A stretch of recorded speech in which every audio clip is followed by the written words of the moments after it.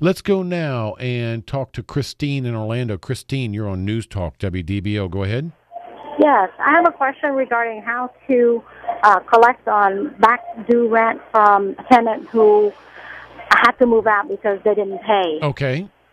So, and it's it's been about uh, a month and a half. Plus, there's some other late fees and um, yard work that they didn't do that we have well, to go over Christine, again. Christine, I assume they're under five thousand dollars. That means you're in small claims court. The clerks will give you the forms, help you through it step by step. At the end of that small claims court action, you're going to get a piece of paper that says your tenant or tenants owe you money, and then you're into the next phase, and that is trying to collect on it.